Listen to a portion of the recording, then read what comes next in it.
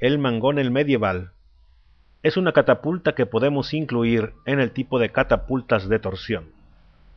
Las catapultas de torsión son máquinas de guerra que obtienen su energía a través de la torsión de sus cuerdas. La energía almacenada en ellas, al ser liberada, mueve el brazo lanzador, que es el que transfiere su energía al proyectil.